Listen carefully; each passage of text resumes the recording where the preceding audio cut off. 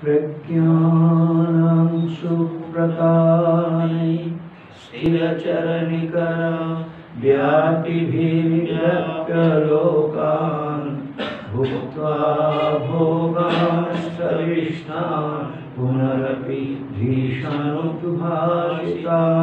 कामजन्यान् कृत्वा सर्वान् विशेषान् स्वपिति मधुरभुं मायया भोजयन्नो माया सङ्ख्या तुरीयं परममृतमजं ब्रह्म यत्तन्नतोऽस्मि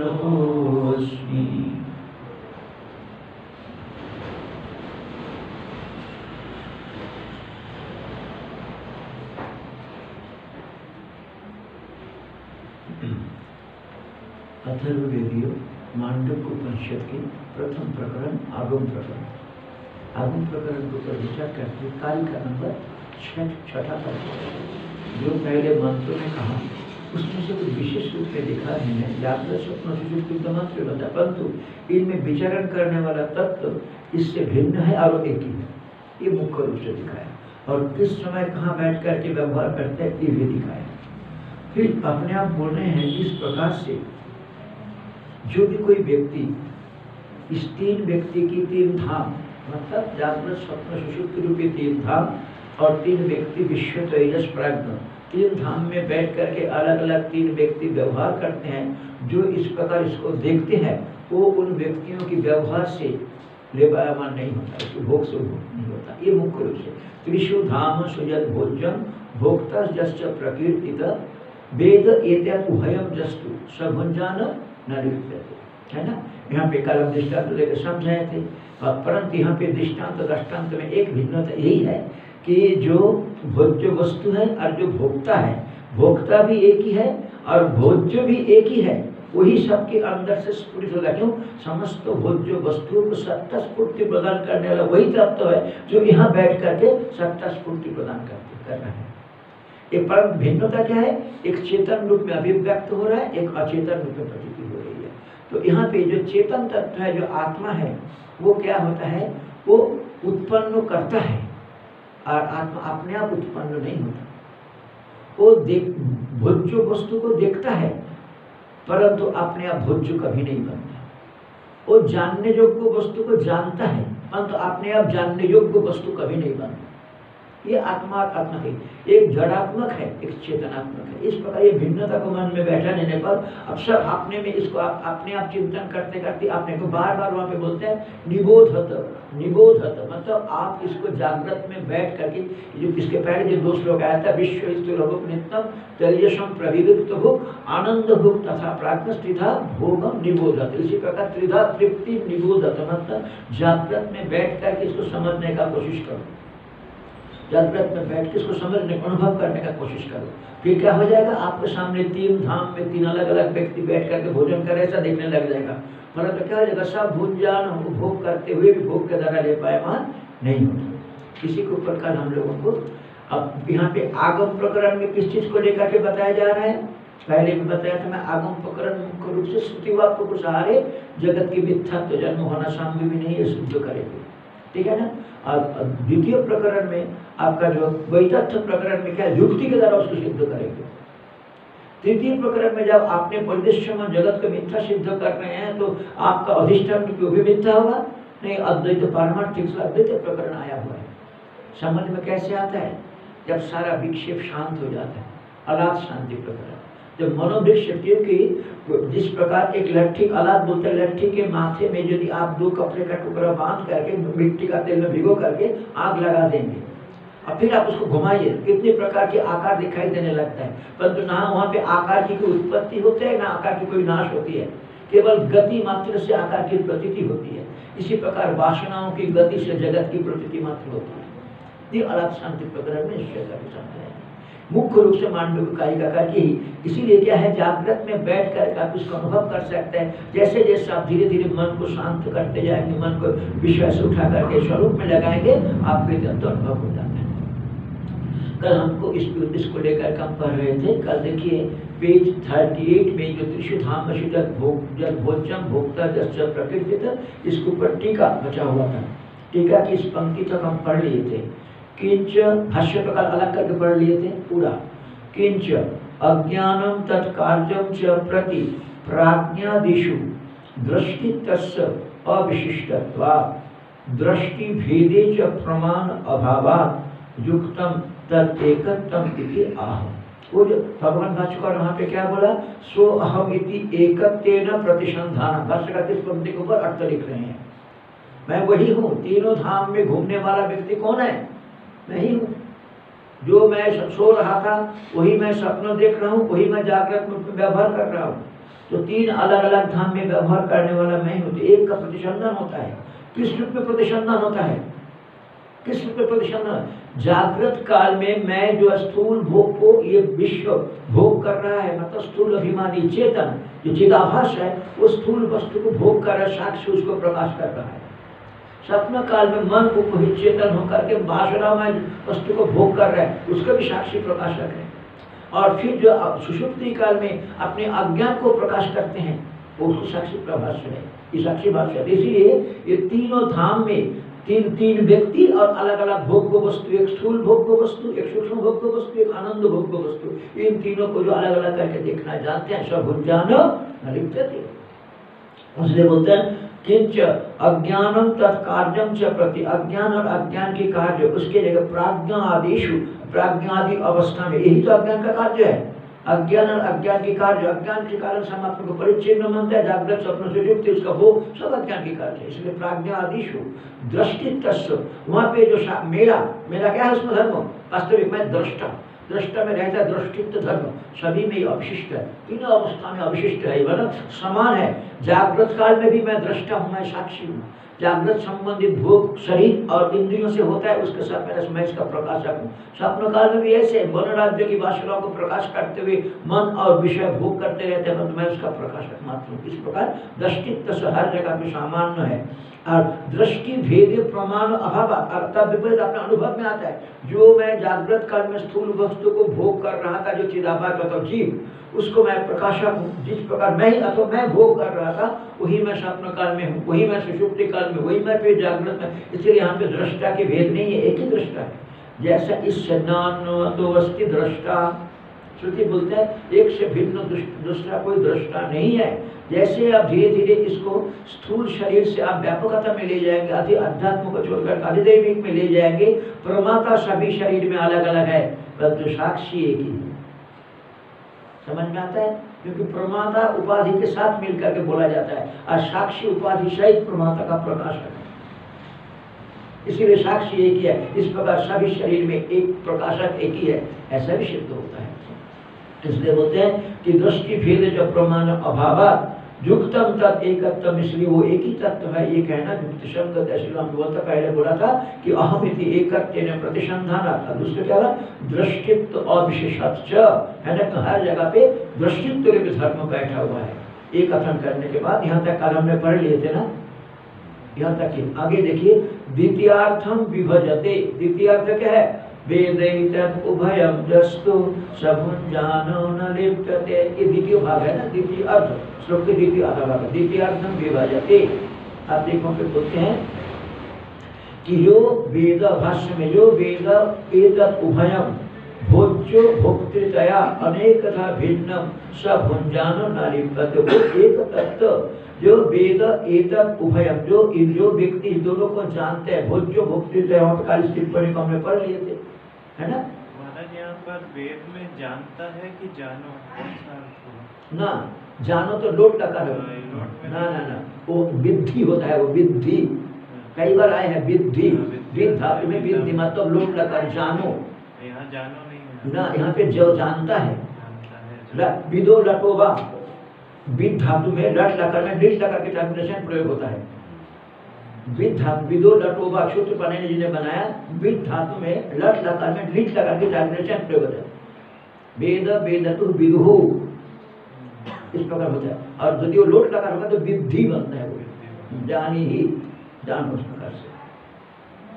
जो वेद उदय उभयम भोज्य, भोक्तृतया अनेकता भिन्न, एक ही तत्व। भोक्ता रूप में भी अनेक शरीरों में दिखाई पड़ता है, एक ही तत्व तो भोज्य रूप में भी सभी का अंदर एक ही तो सत तत्व तो एक ही है। उसी का संपूर्ण सभी का अंदर से होता है। इस प्रकार से जो समझ जाता है, इस प्रकार से समझ जाता है, उसको किसी भी भोग को, वस्तु के प्रति कोई लिप्सा नहीं होती। क्योंकि सभी शरीर में एक ही तत्व है। फल तो क्या होता है, भोग को वस्तु में रहने के कारण भी, क्योंकि लिप्सा नहीं है, इच्छा नहीं है कर्तव्य नहीं है, उसका द्वारा ले पायमान नहीं होता। उसका द्वारा ले पायमान नहीं होता। जो वेद अब आगे बोलते हैं, फिर टीका में, कथम एतावता भोग प्रयुक्त दोष राहितम तत्र आह। इतना मात्र से इन दोनों को जान लिया। वो व्यक्ति उस टेबल में बैठ करके मसाला डोसा खा रहा है। इतना जानने मात्र से, आपको इतना इतना देखने मात्र से तीन जगह पे, आपको भूख के द्वारा ले पाया मन नहीं हुआ, कैसे कह सकते हैं? हमें भी तो भूख खाने की इच्छा हो सकता है। हमें उसको खाने की इच्छा हो सकता है, लेकिन नहीं, कैसे बोल सकते हैं? ये बोलते हैं, कथम एता बता, इतना मात्र कथन से वेद एतत् उभयम दस्तु ज एतत् उभयम वेद तो ये जो होता है, कथम एता बता, भोग प्रयुक्त दोष रहित भोग प्रयुक्त दोष से रहित कैसे हो जाता है वो? क्योंकि वो सभी के अंदर एक चेतन को देखने का उसका अभ्यास हो गया। वो भोग को भोक्ता को नहीं देखते हैं वो। वो क्या देखते हैं? शुद्ध चेतन जहाँ पे भोग है ही नहीं, भोग होना संभव ही नहीं है। इस स्थिति में पहुँचा हुआ व्यक्ति शरीर से कुछ होने पर भी न लिप्यते उसका तरह ले पाया नहीं होता। इसलिए बोलते हैं कि यहाँ पे कि कैसे कथम एतावता भोग प्रयुक्त दोष राहितम तत्र आस्कुत्तर ने बोलते हैं कि भाष्य में भोज्यस्य सर्वस्व एकस्व भोक्तुर भोज्यत्वा जितना सारे भोज्य वस्तु है संसार में, है ना? भोज्यस्व सर्वस्व जितना सारे भोज्य वस्तु है, वो सबका एकस्व भोक्त भोक्ता कितना है? एक है। एक ही है भोक्ता। क्या हुआ? मतलब क्या हो गया? समस्त शरीरों में मैं ही तो भोग कर रहा हूँ। उस भोग को वस्तु से क्या लेना है? क्यों? आपको यहाँ पे समझना स्वभुंजानो नालिप्यते। मतलब क्या हो गया? कि उस शरीर में भी भोक्ता मैं ही हूँ। सूर्य शरीर में भी भोक्ता मैं ही हूँ। हिरण्यगर को शरीर में भी मैं हूँ, चीटी शरीर में भी मैं ही हूँ। इस प्रकार जिसके अंदर ये बोध उत्पन्न हो जाता है, स्वभुंजान, उस शरीर से उसका भोग हो रहा है। क्योंकि जो एक है, जो तत्व तो जिसके रहने के कारण तो भोग का विभाग दिखाई दे रहा है, उसके अंदर भोग नहीं है निश्चय हो जाता है। इसलिए पे बोलते हैं भोज्य सर्वस्व एक भोज्यत्वाद एक ही भोगता है। नान्वस्ति दृष्टा नान्वस्ति श्रोता नान्वस्ति मन। देखे कर दिखा रहे कि सब भोग एक ही है, दूसरा कोई है ही नहीं, कोई। इसीलिए पे बोलते हैं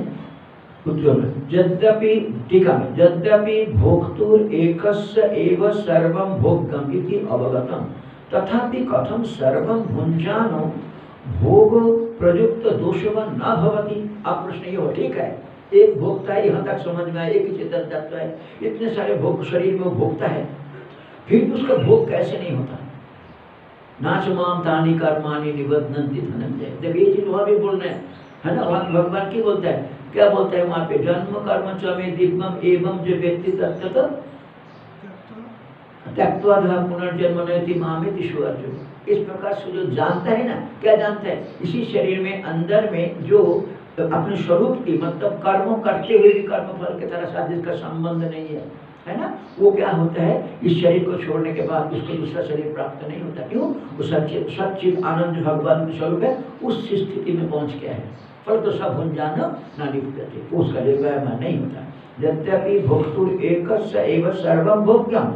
एक भोक्ता का ही सारा भोग वस्तु अवगत नहीं, समझ में आता है। तथापि फिर भी कथम कैसे? सर्वम भुंजन हर शरीर में एक ही भोक्ता होते सबको भोग करते भोग प्रयुक्त दोषवान न भवती। जैसे ही आपका एक शरीर में तादात्म होगा ना, आप भोग भोग प्रयुक्त दोष के द्वारा दूषित हो जाएँगे।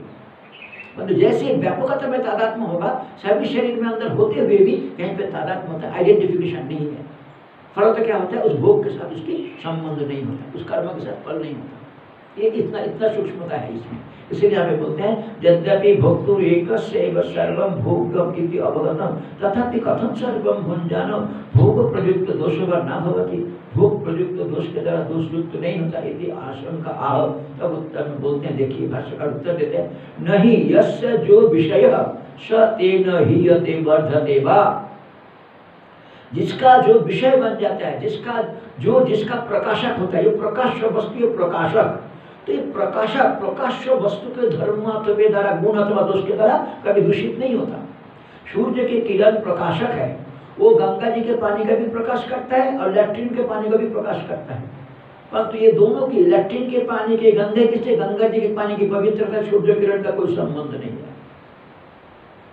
ठीक है ना? इस अभिप्राय इसी प्रकार आत्मा असंग पूर्ण व्यापक हर एक शरीरों में मूर्ति सत्ता स्फूर्ति प्रदान करते हुए और भोग वस्तु को भी सत्ता स्फूर्ति प्रदान करते हुए सबका प्रकाशक होते हुए भी प्रकाश वस्तु के धर्म के साथ इसका कोई संबंध नहीं होता। इसलिए इसको बढ़ता, घटता नहीं इतना यहाँ पे बोलते हैं कि नहीं, यस्य जो विषय सत्य नहीं वर्धते वा।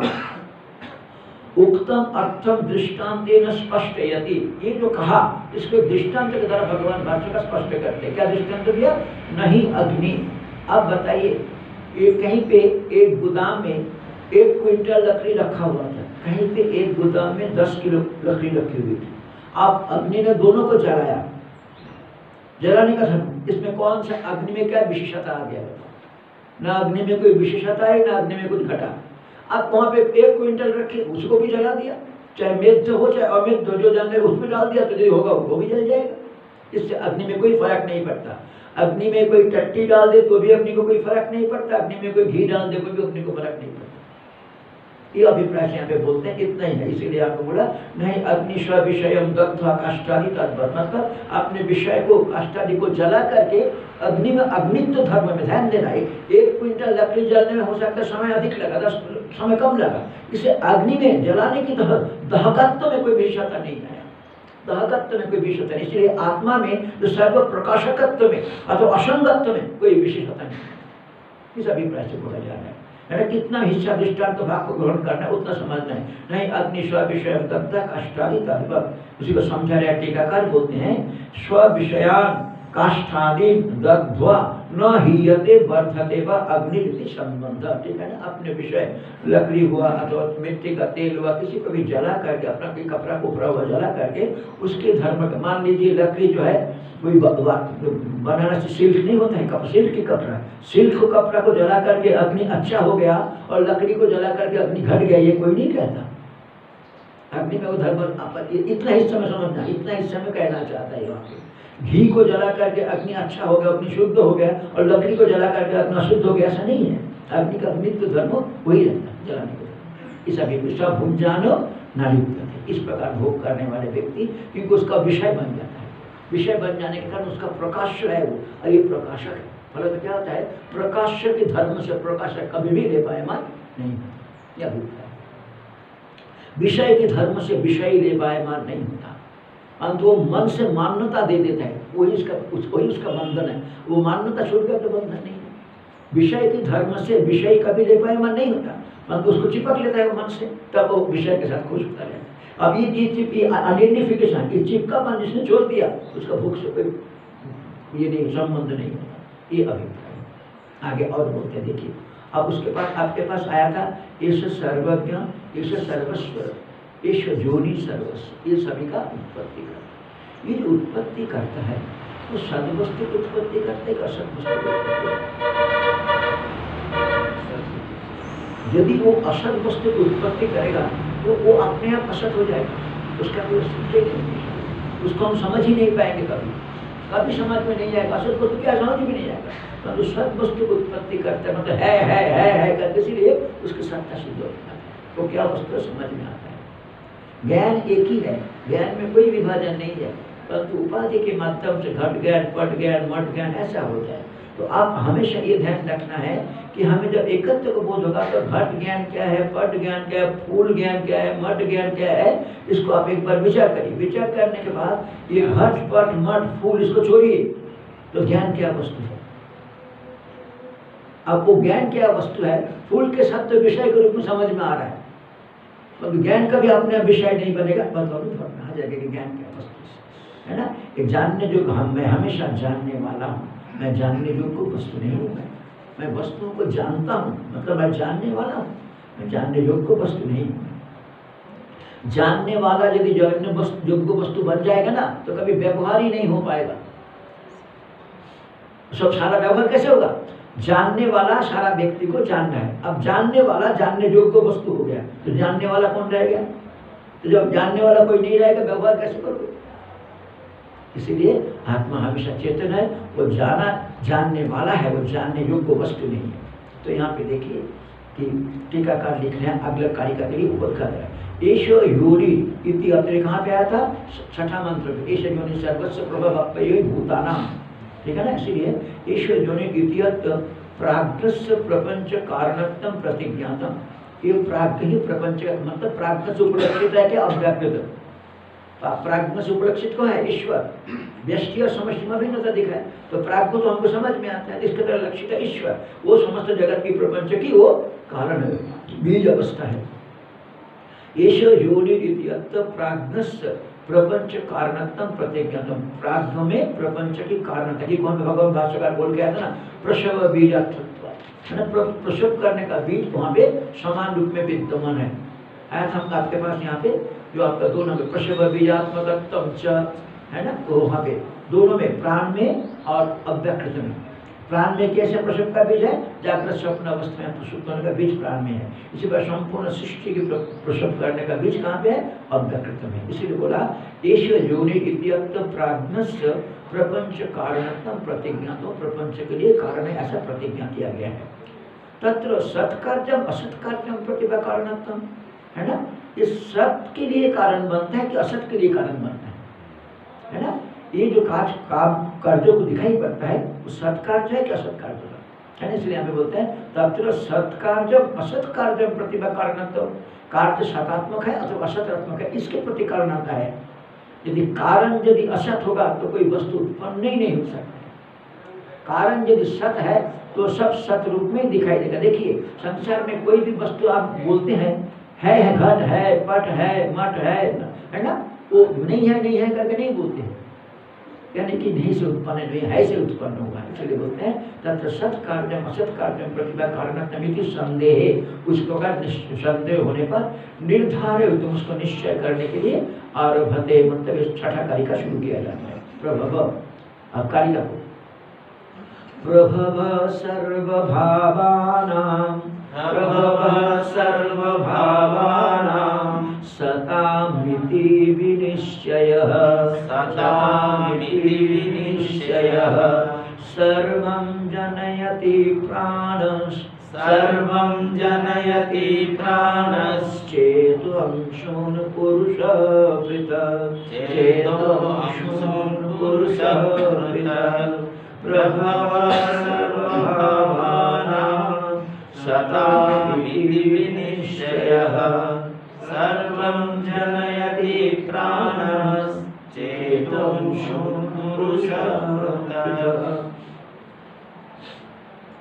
क्या बोल रहे हैं यहाँ पे?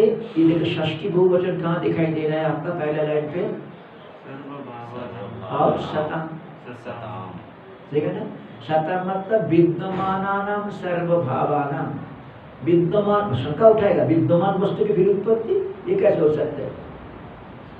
अविद्यमान वस्तु की भी उत्पत्ति नहीं होती विद्यमान वस्तु की भी उत्पत्ति नहीं होती। विद्यमान वस्तु तब विद्यमान क्या रहा है उसका? इसीलिए अनेक वादियों में शंख सत्कार्यवादी है। और हमारा न्याय गोशासिक असत्कार्यवादी है। शंख बोलते हैं, विद्यमान वस्तु की उत्पत्ति हो। जाए और ये बोलते हैं, विद्यमान वस्तु की उत्पत्ति किस बात की आवश्यकता है। विद्यमान नहीं है तो उत्पत्ति चाहिए। ये दोनों लड़ते रहते हैं। और वेदांति बोलते हैं, ठीक है, तुम लोग मत को निश्चय मत तो क्या है? उत्पत्ति होना ही संभव नहीं है। वेदांत तो कभी भी व्यवस्था को बनाने के लिए दर्शन नहीं है। व्यवस्था होना ही संभव नहीं है। यही वेदांत दर्शन की सिद्धांत है। अब इधर पे आ जाइए, बिल्कुल मतलब तो क्या किसको अनुसरण करे बोलते जिसको अनुसरण करने से तुम अपने आनंद से जी सकते उसका अनुसरण करो। परंतु व्यवस्था बनना संभव नहीं है। सृष्टि कैसे हुई, इसको निश्चय सभी बातें घुटना टेक देते हैं। इसलिए मान मान जो कारिकर बोलते हैं, यही मान लो कि सृष्टि हुई नहीं।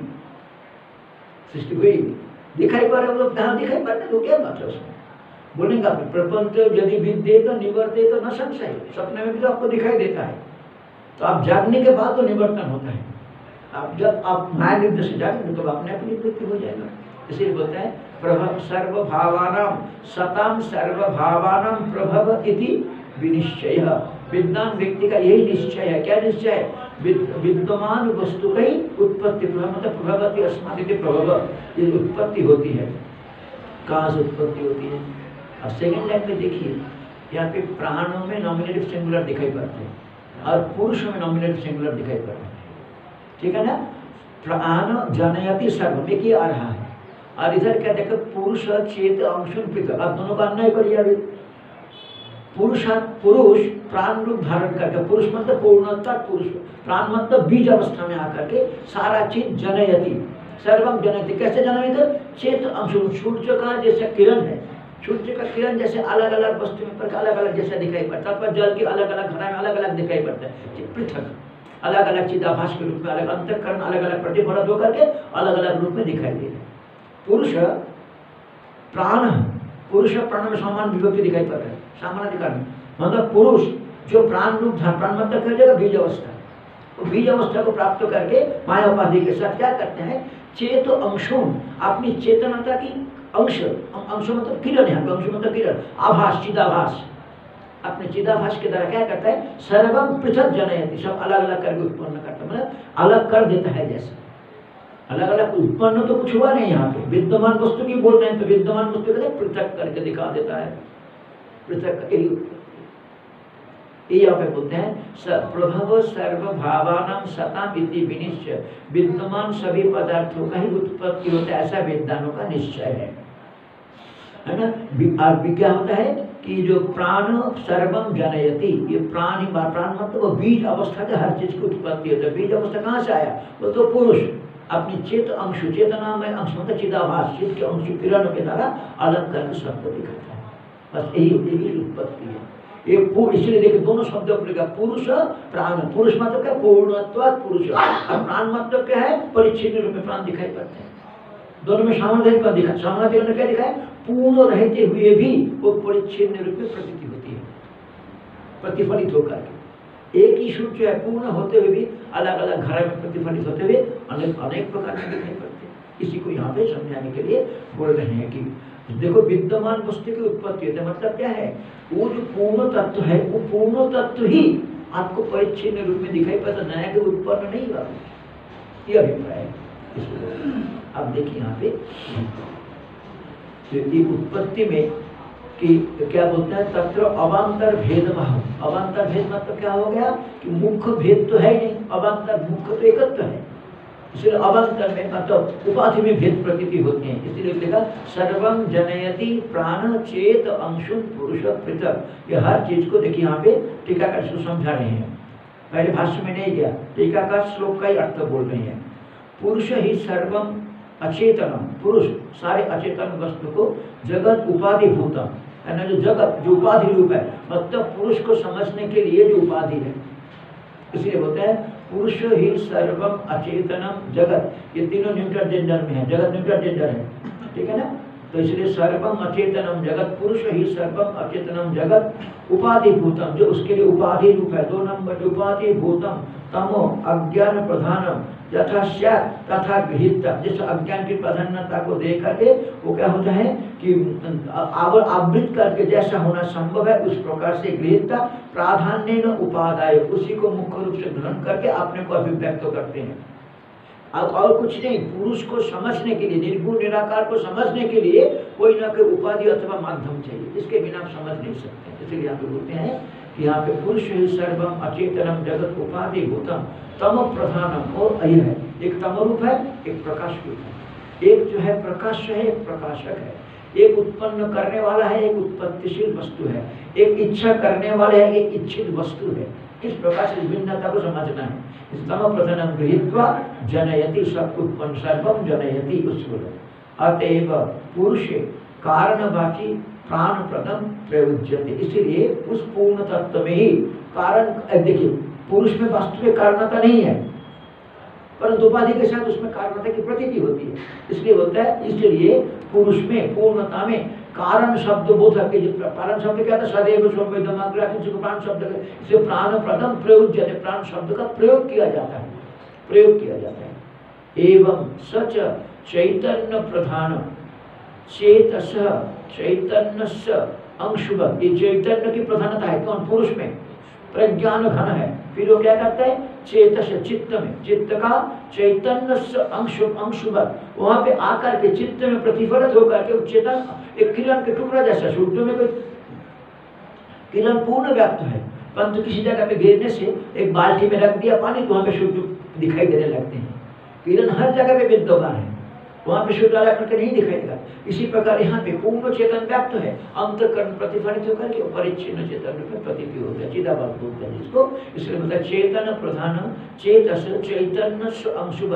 यह चेतन चेतन का एक किरण जैसा अवस्थितान प्रतिबिंब कल्पान देखिए, उस रूप से व्यवस्थित विषयों को जो प्रतिबिंब के समान है, प्रतिबिंब कल्पान जीवान जीव को आभास भूतान जो चीज़ आभास जैसे आभास रूप है, पारमार्थिक नहीं है जैसे दर्पण में मुख दिखाई पड़ता है, वो आभास है। कि आभास भूतान उत्पादयति तो आभास को उत्पन्न करता है। पारमार्थिक उत्पत्ति नहीं है। जिस प्रकार हमारे चेहरे के सामने दर्पण लग देंगे तो प्रतिबिंब की उत्पत्ति हुई, जैसे प्रतीति होगी। ठीक है ना? उसी प्रकार पूर्ण चेतन के सामने माया की दर्पण रख दिया। सारा चीज़ दिखने लग गया। वह क्या?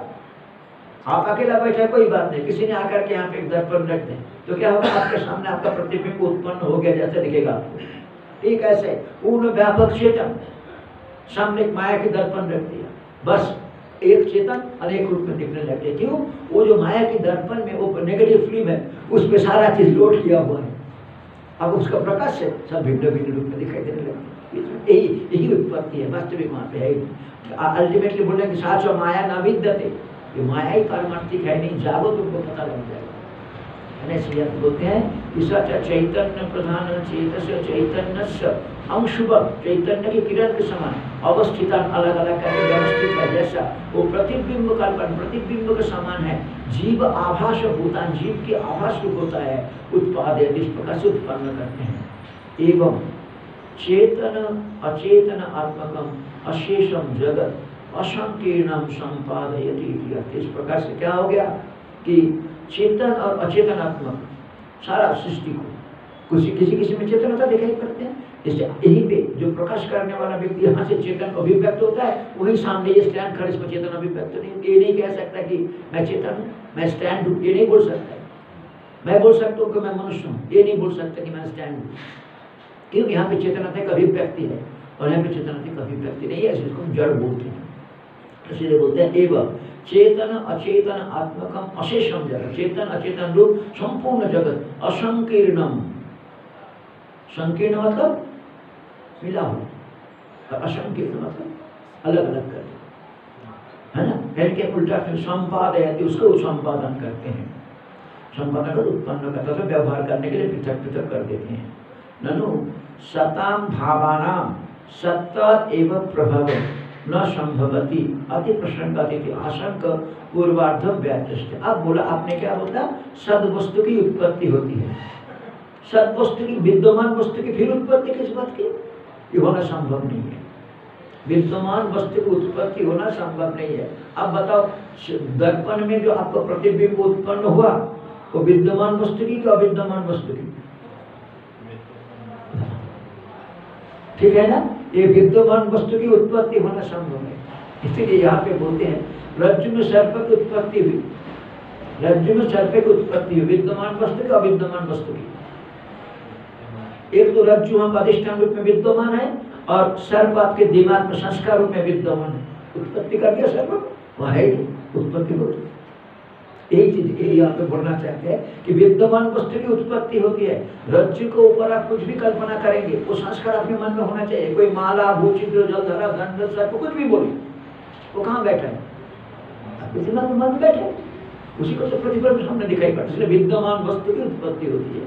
अविद्यमान वस्तु की उत्पत्ति क्यों? अरे, उत्पत्ति पारमार्थिक उत्पत्ति नहीं है, प्रतीति मात्र है वो। जैसा दर्पण में प्रतिबिंब देखते हैं, इस प्रकार राज्य में सबको दिखाई पड़ते हैं। मरुभूमि में पानी की उत्पत्ति हुई कि नहीं? नहीं भी तो दिखाई पड़ते इसी चीज़ के ननु सताम भावानाम सत्यात एवं शंका करने वाला विद्यमान वस्तुओं का। विद्यमानता के कारण ही एक प्रभाव न संभव है, फिर उत्पत्ति होना संभव ही नहीं है। तब अति प्रसंग, तब तो अति प्रसंग हो जाएगा। मतलब जो होना संभव नहीं, ऐसा होना तुम तो कहने लग जाओगे। क्योंकि आशंक्य, ऐसा पूर्वार्थक व्याचष्ट तब जो श्लोक की पहला भाग को भगवान भाष्यकार व्याख्या करते हैं। इतना तक आनंद गिरी जी ने श्लोक का अर्थ कह दिया आपने चर्चा भाष्यकार की व्याख्या को अब लाया ठीक है ना? भाष्यकार की व्याख्या में देखिए बोलते हैं? सताम। सतम शब्द का अर्थ क्या कर दिया? विद्यमाना ये विद्यमान का क्या हो गया? स्वेन अविद्याकृत नाम रूप माया स्वरूपेण विद्यमान समझ में आपको कि विद्यमानता कैसा है? हाँ? मतलब अपनी अपनी। हाँ स्व शब्द है ना दाना खाए हम अपने। तो वहाँ पर तृतीय एक हाँ, स्वेन अपने ही अपने ही। मतलब प्रत्येक व्यक्ति का के अलग अलग है। कोई कोई थोड़ा शासन आगे भी है स्वेन।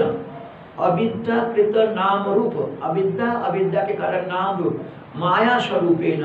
माया रूप से जो आपका दिमाग में सर्व भावानाम समस्त विद्यमान वस्तु का। सताम विद्यमानानाम सर्व भावानाम षष्टी बहुवचन दिखाई पड़ता। परंतु विद्यमान हुआ कैसे? समस्त भाव वस्तु। अपने ही अविद्या से, नाम रूप की कल्पना जो हमारे रूप से, माया माया स्वरूप मतलब पारमार्थिक नहीं है, प्रतीति मात्र है। माया स्वरूप मतलब प्रतीति मात्र स्वरूप संस्कार मात्र स्वरूप ये अभिप्राय है। स्वेन अविद्याकृत नाम रूप माया स्वरूपेण सर्वभावानाम। यहाँ पे देखिए स्वेन आप यहाँ लिख रहे देखिए एक नंबर टिप्पणी में। स्वीय वास्तव स्वरूपेण अधिष्ठान आत्मना इति ठीक है ना? अपना जो पारमार्थिक स्वरूप है, जो अधिष्ठान रूप है, उसी के ऊपर ही प्रतीति होती है।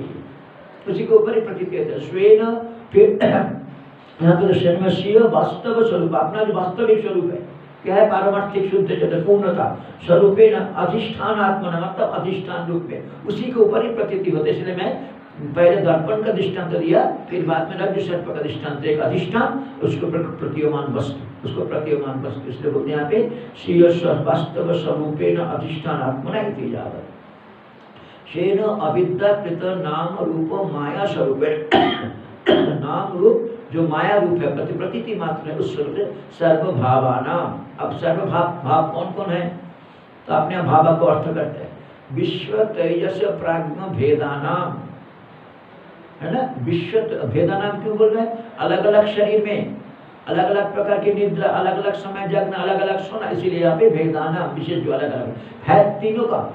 हम भी जब जाग रहे हैं जागृत का भी व्यवहार करते हैं, यहाँ पे अधिष्ठान जो बेष्टि अभिमानी चेतन का विश्व बोलते हैं, देवता शरीर में भी वही विश्व है, पशु शरीर में भी वही कोई विश्व बोला जाता है। कब? बेष्टि अभिमान में जब अभिमान करते हैं।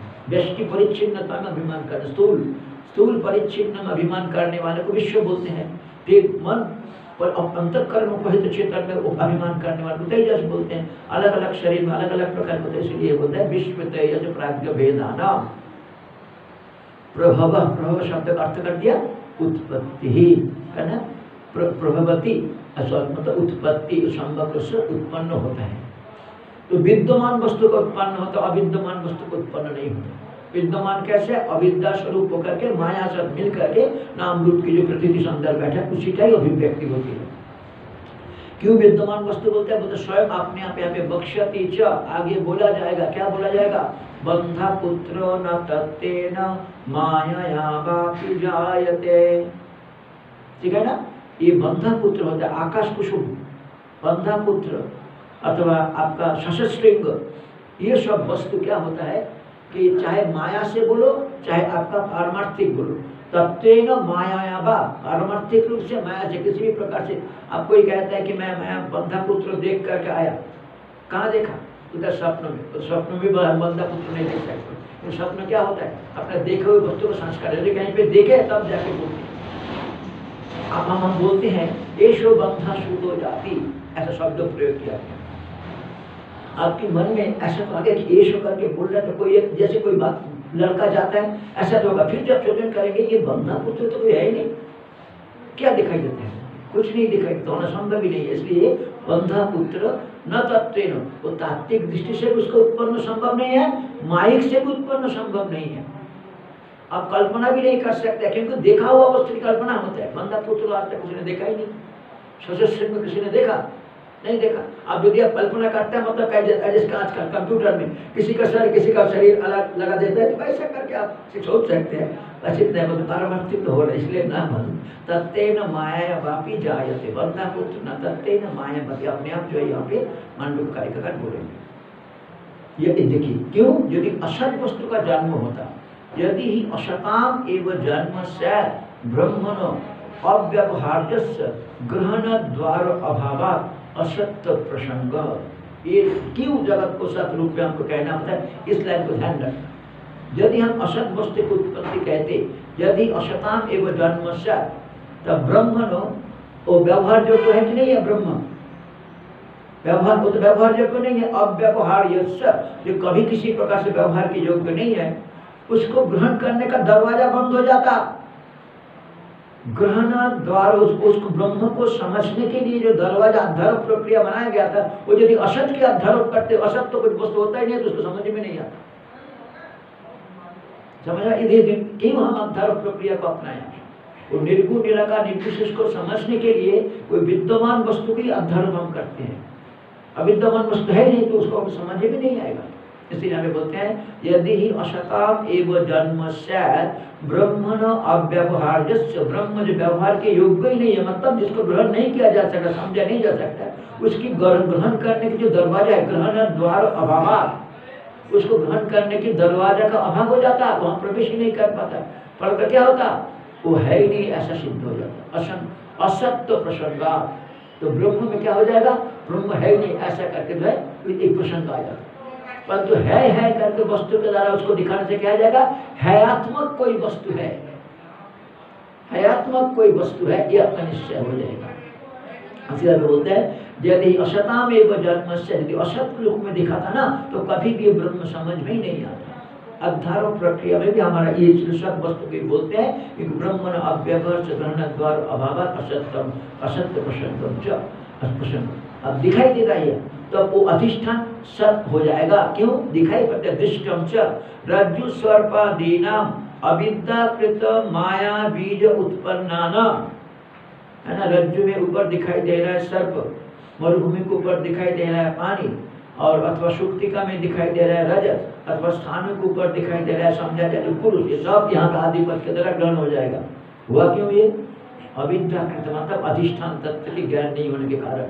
ये बोलो, अभी तक, फिर माया माया मतलब जैसे संस्कार हमने अंदर बैठा रखा।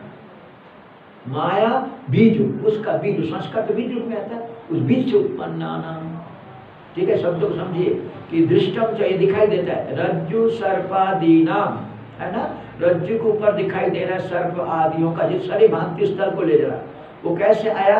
अधिष्ठान तत्व के अज्ञान से अविद्या कृत फिर माया बीज और उसका अविद्या तो ठीक है अधिष्ठान तत्व के ज्ञान नहीं है।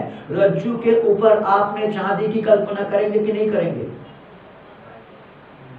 नहीं कर सकते। ये माया मतलब उस प्रकार की वस्तु के जो संस्कार अंदर बैठा हुआ, तद अनुकूल। भूचित्र, जलधरा, माला, दंड, सर्प, ये तो हो जाएगा।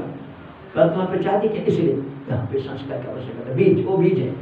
है ना इसलिए होता माया बीज उत्पन्न रज्वादि आत्मना सत्यम वहाँ पे क्या होता है वो जितना आपका भ्रांत वस्तु दिखाई पड़ रहा है ना उसकी विद्यमानता है कहाँ विद्यमानता है वो रज्जु स्वरूप में उसकी विद्यमानता है क्यों वहाँ पे देखो उस रज्जु में कभी भी आपका चांदी की भ्रांति नहीं होगा रज्जु में आपका पानी की भ्रांति नहीं होगा मतलब जिसके अंदर से जो वस्तु निकलना संभव है मतलब वो पहले से उसमें विद्यमान है यदि मान लीजिए कि बजरी में घड़ा बढ़ने के सामर्थ्य होता तो कुम्हार जो बजरी ले जाता।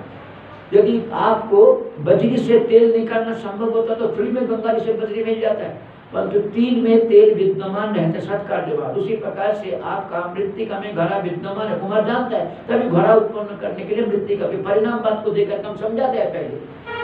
फिर जो क्या है, जगत की जो अधिष्ठान है, उसके अंदर तो हर चीज़ बनने का संबंध है। किस हिसाब से? अपने मन के संस्कार के हिसाब से बनाते अच्छे बोलते हैं, रज्जु सर्पादि नाम अविद्या कृत माया बीज उत्पन्ना रज्जुआदि आत्मना। इसलिए वेदांति क्या है? सत कारणवाद है। वेदांति सत कार्यवाद नहीं है। शंख सत कार्यवाद है। हम सत का किस रूप में रहता है? कार्य कारण में, कारण रूप में वेद रज्जुआदि आत्मना। रज्जु में विद्यमान, रज्जु सर्प, रज्जु में रज्जु रूप में विद्यमान है। रज्जु में, रज्जु के ऊपर प्रतीयमान रज्जु सर्प, रज्जु में रज्जु रूप में विद्यमान है। ठीक है ना किसी पर अधिष्ठान रूपी आत्मा में प्रतीयमान जगत तो इसमें इसे सदैव सौम्य ये बोलते हैं, क्यों? ये सारा जो अलग अलग नाम रूप में दिखाई दे रहा है, पहले किस रूप में था? केवल सत रूप में ही था और ये हमारे वेदांतिक कल्पना असुति बात है। ना? ये पहले सत रूप मतलब कारण रूप में ही कार्य की विद्यमान कारण में कार्य रूप में कारण, कार्य की विद्यमानता।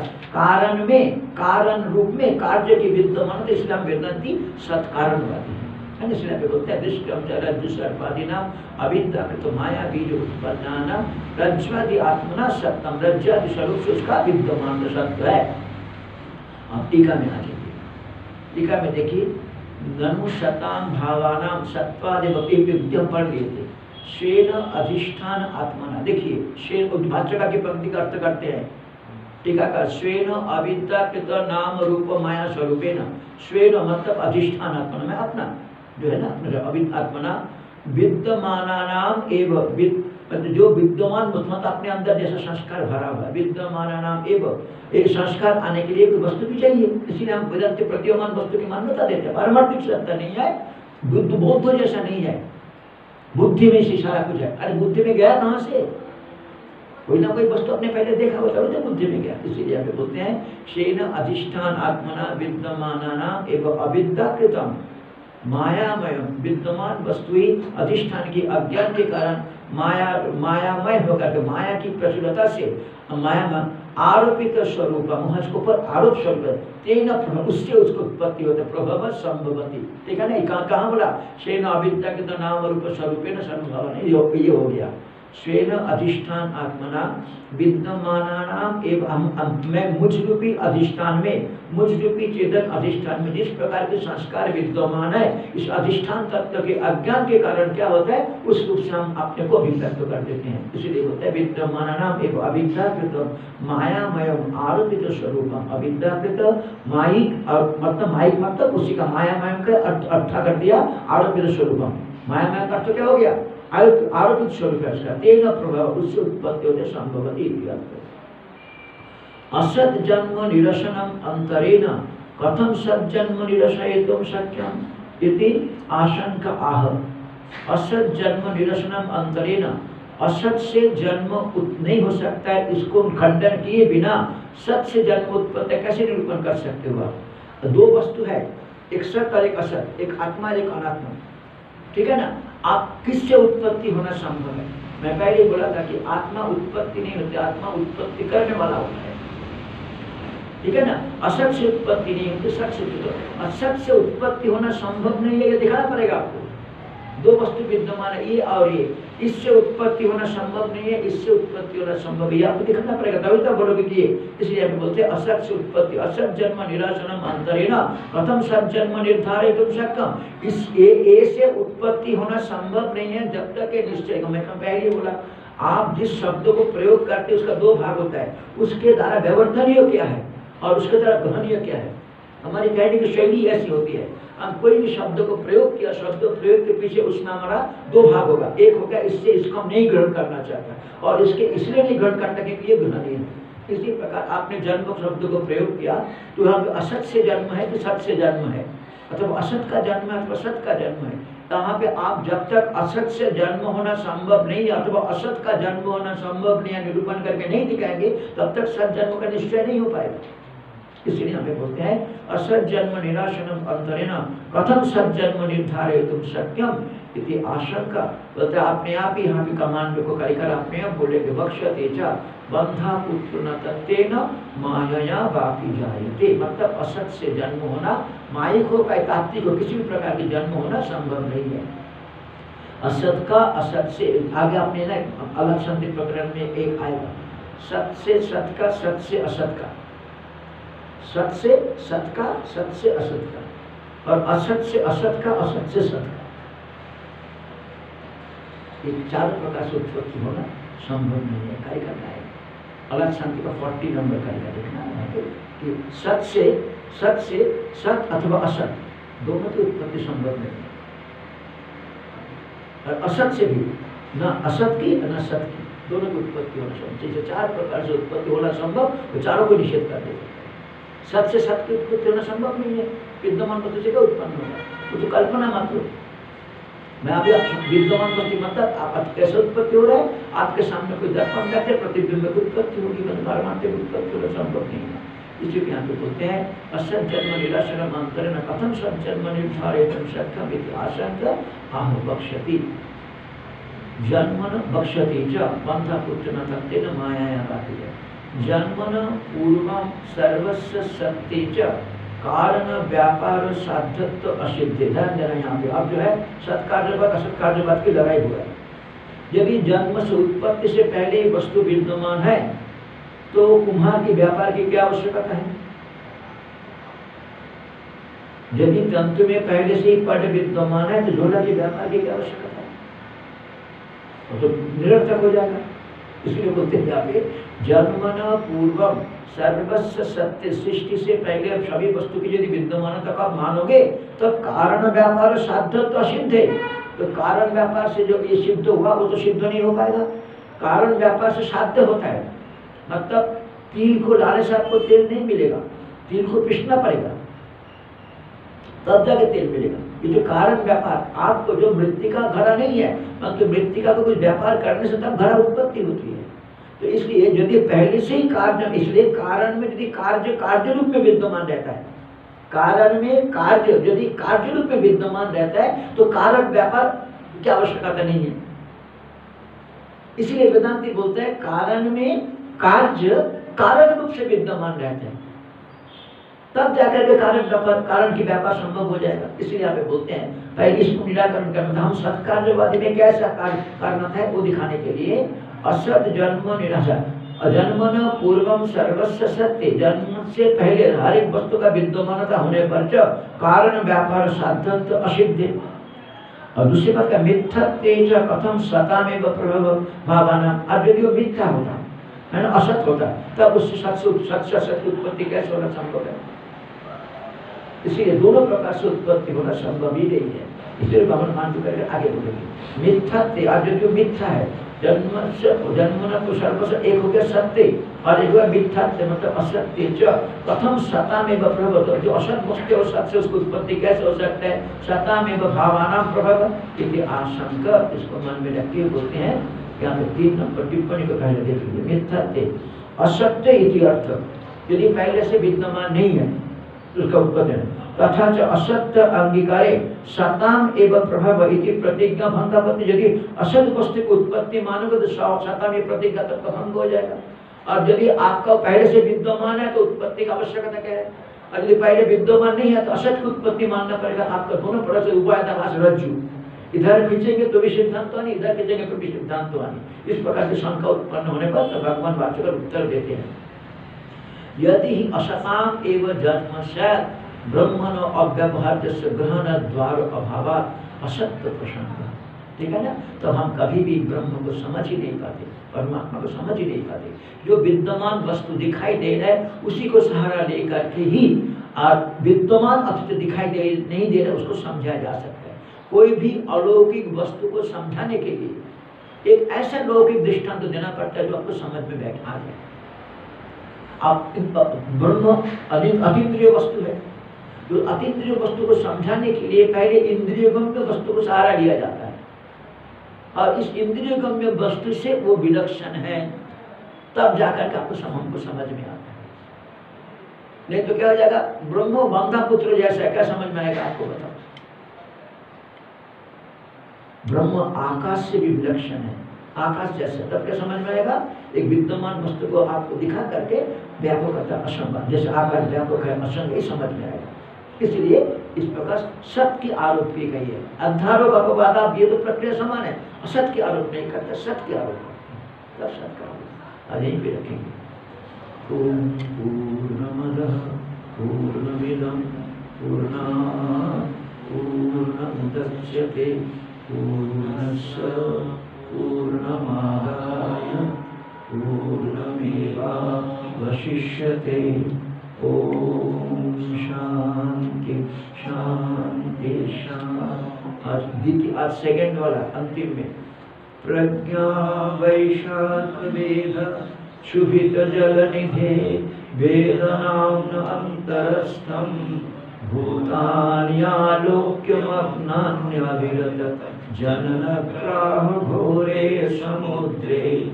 कारुण्या उद्दधारामृतमिदमरे दुर्लभं भूतहेतो जस्तं पूज्याभिपूज्यं परमं गुरुं मम पादपाते नमस्ते।